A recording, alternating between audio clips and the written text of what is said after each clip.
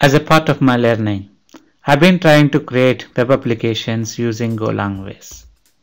Along the way, I had my share of hiccups. I hope this step-by-step -step guide will help you to avoid most of your hiccups during your learning so that you can spare more time to add more features and to change the code to your style. There are many ways to do web apps in Golang ways. Please consider trying other approaches also. In this part, we will create a basic web server to serve a few sample HTTP pages. This part of basic web server is divided into four steps. The basic steps of creating directory structure and setting environment variables are common for all the new programs.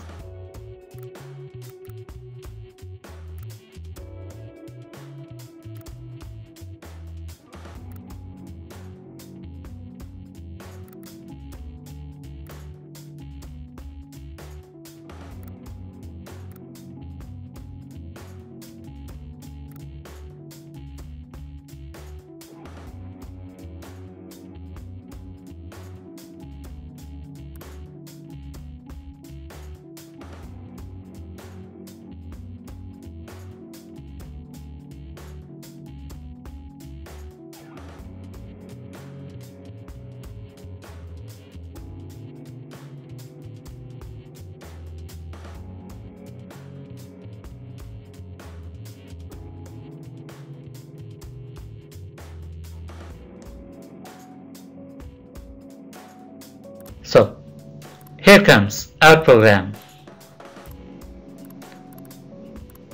GoLangways provides a package called net/http as an internal library. We will use this to listen and serve pages over HTTP protocol. Running HTTP server is simple. We call listen and serve method from HTTP package using 8080 port.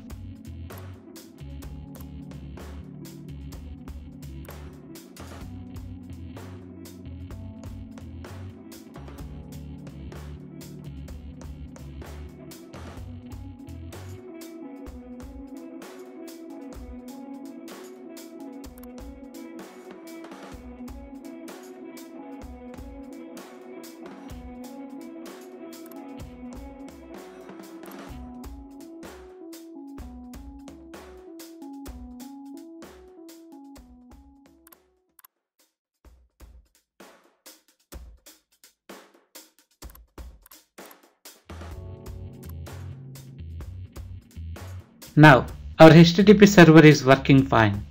So we will try to serve a few pages such as home and contact.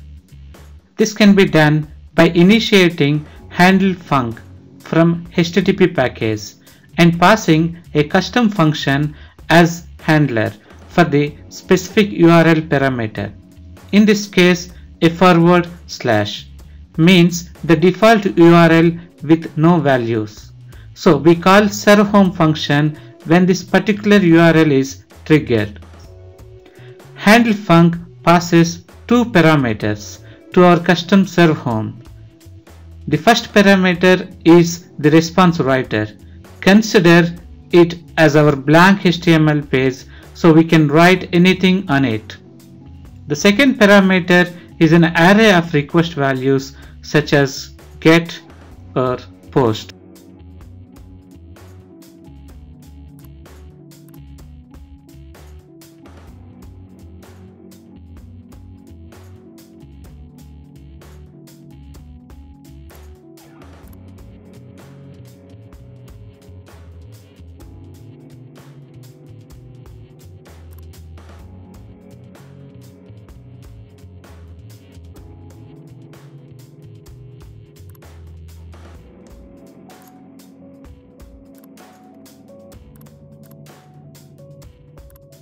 We use the same approach to serve more pages.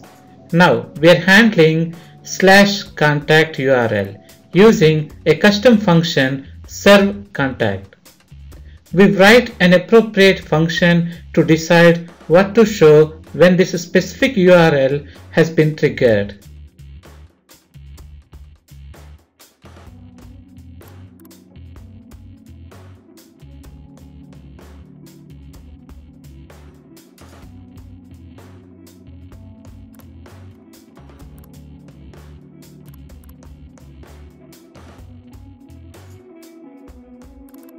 So we are able to handle both home page and contact pages with this simple program.